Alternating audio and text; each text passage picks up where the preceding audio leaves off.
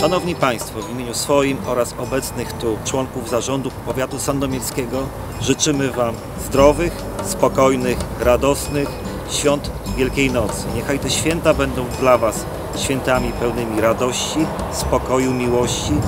Spędźcie je w rodzinnym gronie, miłej atmosferze, rodzinnie i radośnie w tym trudnym dla nas czasie. Bądźcie radośni, spokojni, nabierajcie energii na kolejne dni tego roku. Zbliżają się święta Wielkiej Nocy.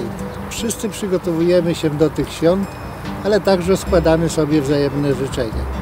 W imieniu Rady Powiatu Sandomierskiego składam wszystkim mieszkańcom powiatu jak najlepsze życzenia świąteczne.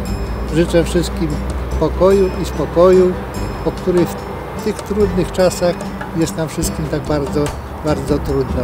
Y, Życzę, żeby dopisywało wszystkim mieszkańcom zdrowie, życzę dużo radości, którą również y, będziemy przekazywać naszym, naszym najbliższym.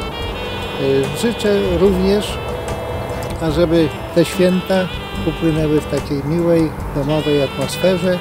No i oczywiście życzę tradycyjnie już smacznego jajeczka, mokrego tyngusa. Życzę, abyśmy nie zapominali o istocie tych świąt wielkanocnych. Wszystkiego najlepszego. Radosnych świąt wielkanocnych, wesołego Alleluja!